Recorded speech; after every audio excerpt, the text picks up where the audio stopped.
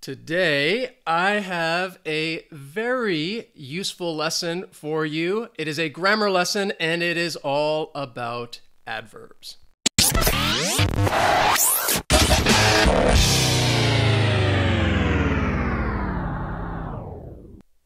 What's up, guys? My name is Wes. This is Interactive English, which is the place that you want to be to practice and improve your English. And today I have a grammar lesson for you.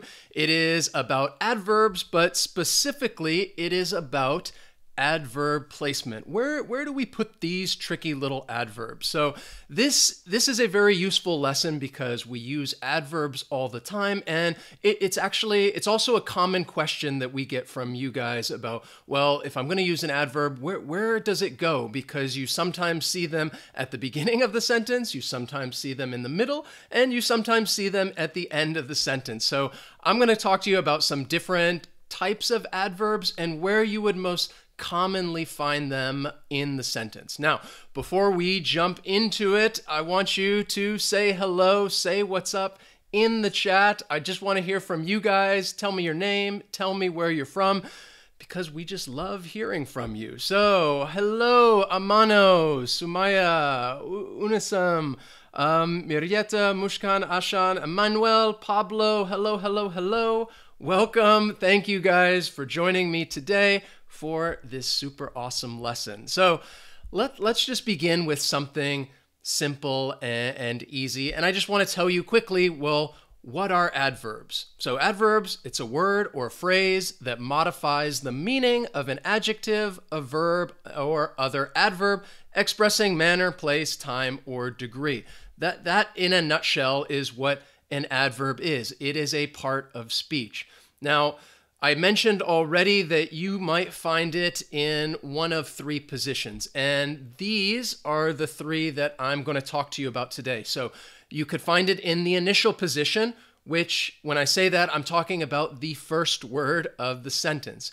You can find it in the middle position, which I would say the middle is anywhere between the first word and the last word. It gets a little it can get a little confusing what where the middle is, but in general, anywhere between the first word and the last word. And then you could also have it in the final position, which is at the very end of a sentence, or you could even say the end of your main clause. So the the goal behind this lesson is not to think like, well, I'm going to memorize this and and then it's it's just going to be done. I'm going to know this information because when you talk about adverb placements it can be confusing it can be tricky and it's more something that you just need to practice and become familiar with and then you'll just naturally start using it correctly in your writing or when you're having a conversation.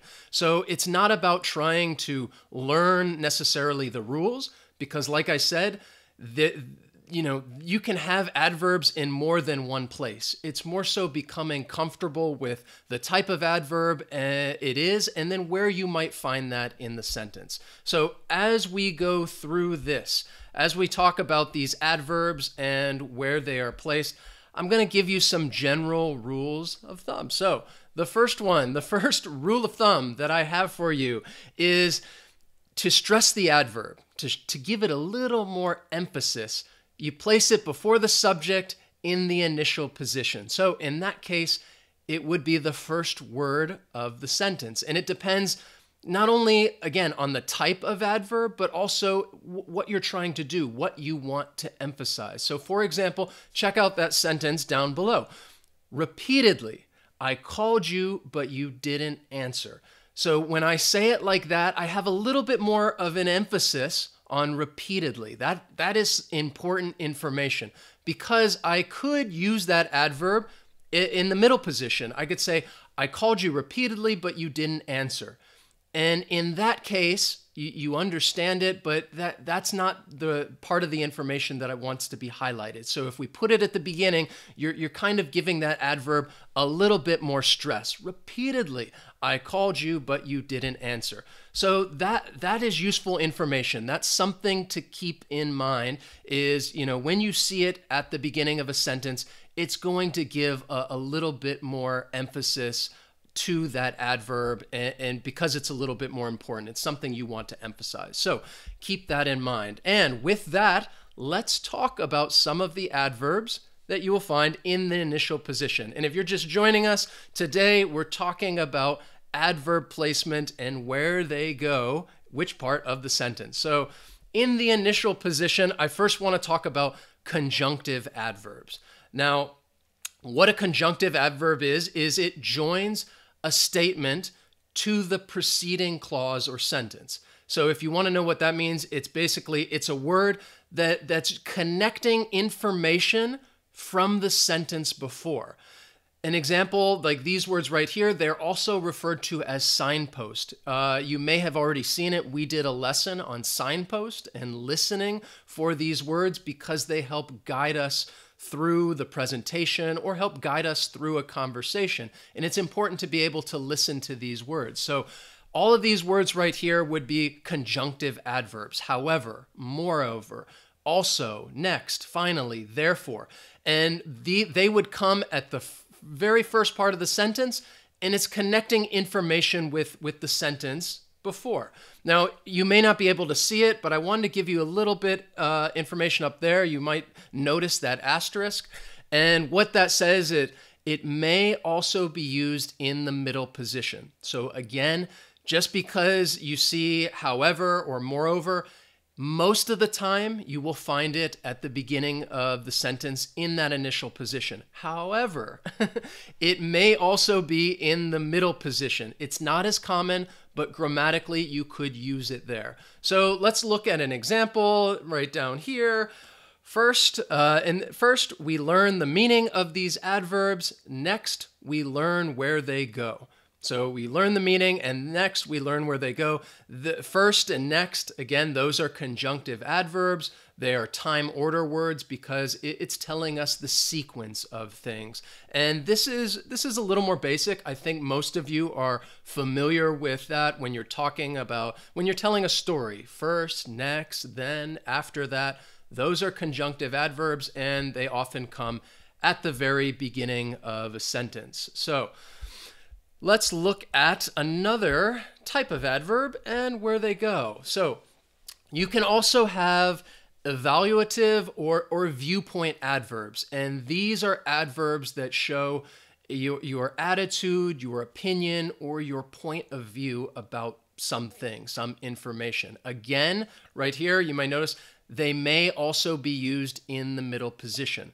But but most of the time when you're having a conversation or if you're reading a book you, and you see these adverbs, they will they will often come in the initial position. Actually, obviously, apparently, personally, fortunately, and interestingly. Let's let's uh, let's practice this right now. I want you to use the adverb interestingly and tell me something. Tell me your opinion. Interestingly, blah, blah, blah, blah, blah, blah. What happens? What is something that is interesting um, or that happened that was interesting? Interestingly, something happened. So practice using that. Write us, write a sentence in the chat. Give us an example because it's always good to keep practicing what we've learned. And I gave you an example right there. Personally, you're kind of giving your opinion about something. Personally, I think you should hit that like button down below. All right. Um, I'm kind of trying to look at it right now. Uh, that would be my personal opinion of, about what what's going on. I think you guys should hit that like button. So again, if you can see, write write write an example sentence. I'm, I'm waiting to see if anybody uh, can can give us that. That is an interestingly or you could say again at the at the beginning. Interestingly, um, you know that that was interestingly that was a great question. Um, interestingly, I have time to watch your lesson. Perfect. Interestingly, um, I was about to watch a movie. Exactly. You, are giving us some of that information. So these are evaluative viewpoint adverbs. You, you often find them in that initial position. Let's look at our next rule of thumb. So, if we're talking about uh, the adverb having little to no emphasis, if there's little to no emphasis on the adverb place it after the subject and before the verb in the middle position. Again, the middle position it, it's that is not always the specific position for that. The middle position can can kind of be a range, but often uh, you would find uh, the adverb between the uh, between the subject and the verb. It's considered the middle position, and when it's there, it's just not emphasized. Like I said, if it's in the initial position, it gives it a little bit of emphasis. So, uh, my example sentence is Wes sometimes eats an entire Milka bar before going to bed. Um, sadly enough, yes, this is true. This is one of my guilty pleasures. And if you don't know what a guilty pleasure is, it is something that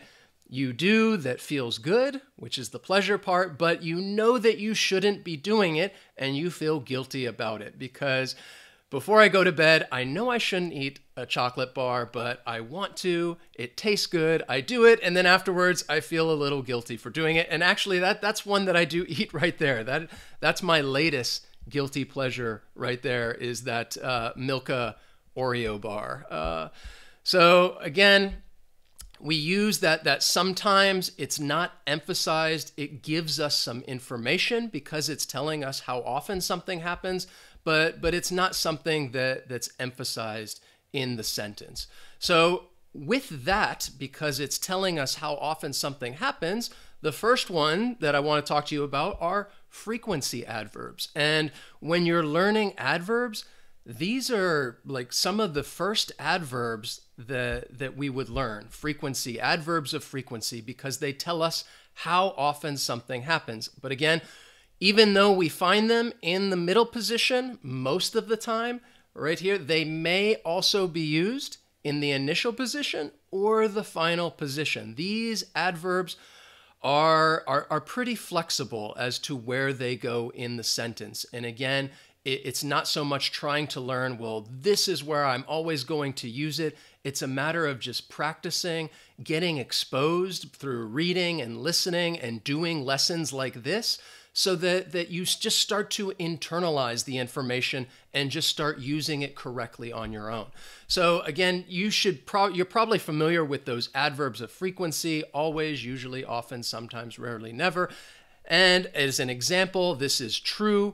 We always ask you to write to us in the comments. And I just noticed right there, I made a mistake. You can see it. It should say write to us in the comments not right to use in the comments. So again, you guys can, it's something we always ask. We always ask you to write to us in the comments. We also always ask you guys to, to hit that like button right there. We always appreciate it. Um, right now, I only see oh, 23 likes. All right, come on, guys. Come on. Keep it going. Um, let's, uh, let's look at the next one. All right.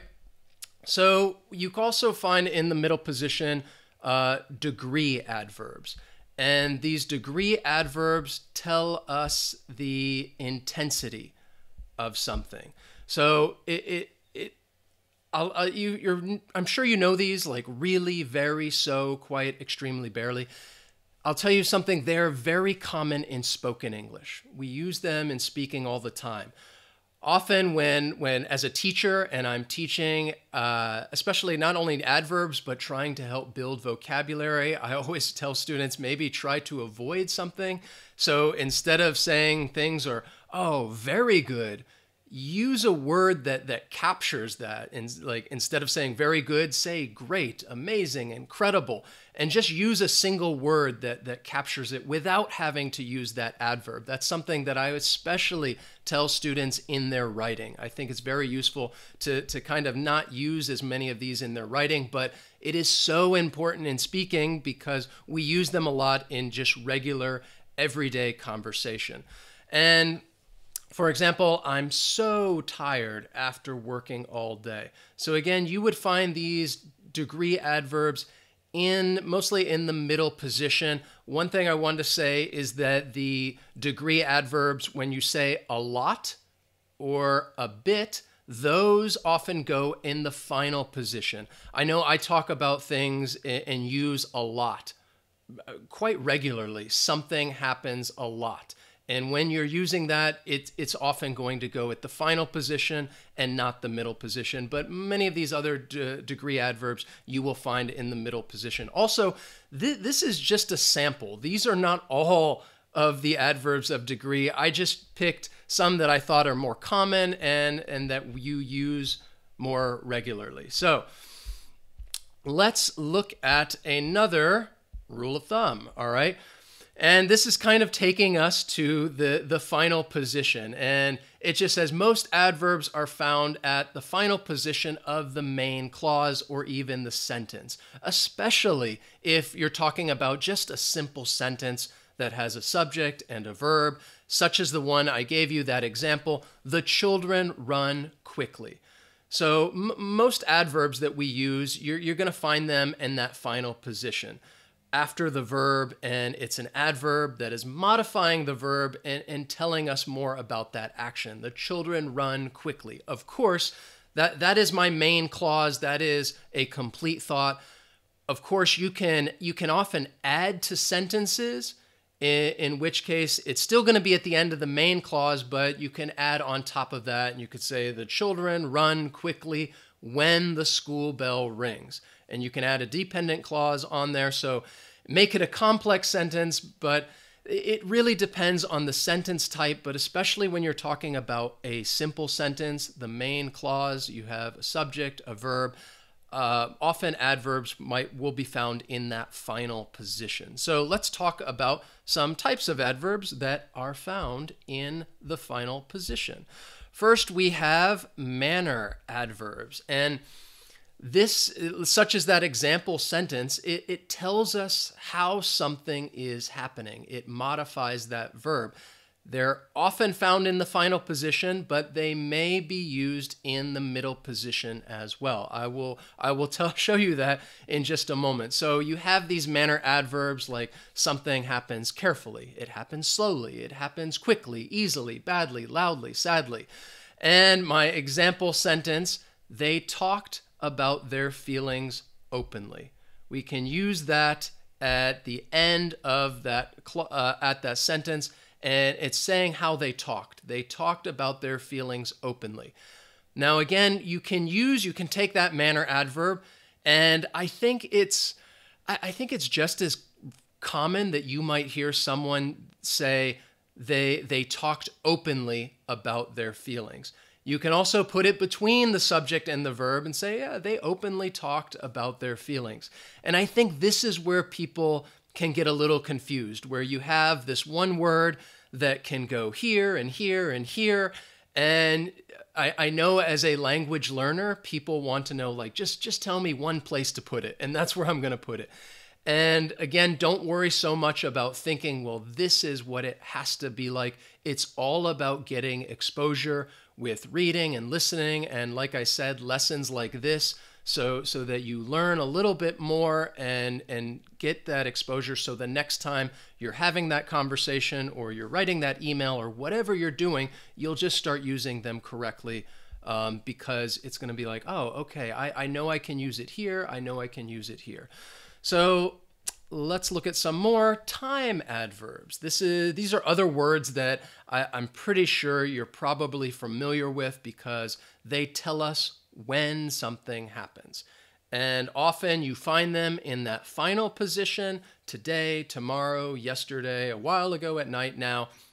But again, they may be used in the initial position as well if we want to emphasize it. Because a very common sentence we might say is, we eat breakfast in the morning. You're, you're saying when this happens. We eat breakfast in the morning. Now, if I want to put that in the initial position, I can. And I would say, in the morning, we eat breakfast. And by putting it in the initial position, again, just recognize that it does add a little more emphasis to, to that adverb by saying, well, this, this is important in the morning is important. So most of the time you're going to find it at the final position at the end, but it can be used in the beginning of the sentence, especially if you want to add a, little bit of emphasis to, to what you're trying to say. So now you're familiar a little bit more with the, the different positions where you might find these adverbs in the initial position, the middle position, or the final position. So I, I do want to practice using some of these and, and, do that. But first, I just want to have a little fun. You can have a little fun with adverbs as well. And here are these two questions Does Wes work hard? Does Wes hardly work? So this is one I always would go into a classroom and joke with students and say, Are you working hard or are you hardly working? And sometimes students would think about that and, hmm, uh, working hard, because they are actually two different adverbs, two different meanings. The, the adverb hard, you're, you're, you're doing something with a lot of effort and energy, or hardly, which is almost a little bit of the opposite, means, you know, very, very little. So you can work hard or you can hardly work. They're opposites, but it's a little fun with with wordplay. You can ask ask somebody that uh, are you are you working hard or are you hardly working? So it's fun. I just wanted to share that with you guys. I also wanted to share that we are on Patreon now, so you can check us out there. We have some very cool rewards, and I will leave a link in the description. So let's look at let's let's practice using some of these adverbs. So I'm going to give you a, a sentence, and I kind of want you to think, well, what? Notice where the adverb is, and then what type of adverb do you think it is, and and kind of what word would you use to fill in the blank? And of course, there's more than one word that you could use. So let's practice using these adverbs. So the first one is right here, okay? It is at the beginning of the sentence. Way over there, I have those different types of adverbs that we talked about in this lesson conjunctive adverbs, evaluative viewpoint, frequency, degree, manner, time. Wh- which type of adverb do you think this is? Write it in the chat and also fill in that blank. What, what, what word would you use to go in that blank? Hmm, the earth is round and not flat. So, what what type of adverb do you guys think we should put in there? Let let me know in the chat. So, it's at the beginning of the sentence, and I told you when it's at the beginning, that that's gonna help us give a little more emphasis to it.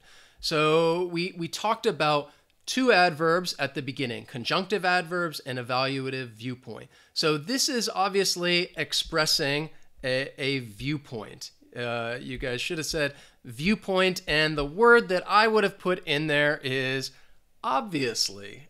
Obviously, the earth is round and not flat. It is an evaluative viewpoint adverb. What about, so remember again, the, the important thing, one important thing that I wanted you to take away from this lesson, if if that adverb is in the initial position, there is a little more emphasis that that that information is important. All right. Let's look at the next one. Um, I saw that image and I was like, okay, I'm just going to try to find a way to incorporate that in one of the lessons. So I mm, pick my nose. What what kind of adverb do you think that is? Again, it's coming between the the subject and the verb. So what what kind of what kind of adverb do you think that is? And then what what would you guys put in there if you're gonna fill out if you're gonna share share with us and and put that put an adverb in there? Which adverb would you use? So we're we're talking about it goes between the subject and the verb. Um, it's it is a frequency adverb. Uh, yes, I mean, so if you put frequency in there, that is perfect. And getting some interesting answers. Some people usually, always, hardly, occasionally. Um, someone, I got one. Excellent. Rarely, usually. Um, what I just put in there, you know, I sometimes pick my nose. Uh, it's an adverb of frequency, and again you know, this is something I, I think it's just natural. I think we all, everybody does it, whether they would admit it or not. Um, it's no big deal. So let's look at the next one. The next one, um, he spoke mm, during his testimony. Now, th- this one, it's not not tricky, I think. But what what do you guys think that is? What type of adverb and then what word could could go in there if you're thinking about that situation you're in a courtroom and somebody is speaking it is talking about how they speak now i would say that I, have added some information that during his testimony you, you could just take that out and say he spoke mm, and that is your main clause that is your sentence you're talking about how someone spoke so what what type i think some of you said yes we're talking about how somebody spoke. It, it is an adverb of, it is a manner adverb. And I would say, he spoke honestly during his testimony. He spoke honestly. So this is this is again this is great information it, you guys are here you're practicing this is the best way to learn a- instead of thinking about it like oh i have to learn a rule don't think about it like that just just practice these adverbs and understand that they don't always have to go in just one position in a sentence. They are a little flexible and you can use them in different ways. And the more you practice, the more you listen, the more you read, then then the better you are going to become and it's really going to help you improve your fluency skills. And on a side note, if you really want to improve your fluency skills, check out our secret lesson. I've linked it down below. So check out our secret lesson, which is going to help you. It is 10 ways to help you master English fluency. You can click on the link and truly become a part of the interactive English community, and we will email you that lesson. Link is in the description. So check that out. Thank you guys so much for watching. As always, please like and share this lesson. If you have questions, write to us in the comments because we just love hearing from you guys. This is such an amazing community, and, we're so happy to have you guys with us and, join us um, for these lessons. We really appreciate it. So, thank you, thank you, thank you. Um, Thank you, Fabio, Junior, Molly, Giselle, um, Mr. Sam. Thank you guys so much. Um, sorry if uh, I've missed some names. Um, Everest, uh, Sandra, uh, Aiden, Tan, Tan Tan, Wafi, everything you want. Excellent. AKM, Ravi, Dejan. Um, thank you guys for being here and checking out this lesson keep practicing, keep watching. It's really, that's really what's going to help you improve your English the most. Thank you guys for being here, and I will see you next time.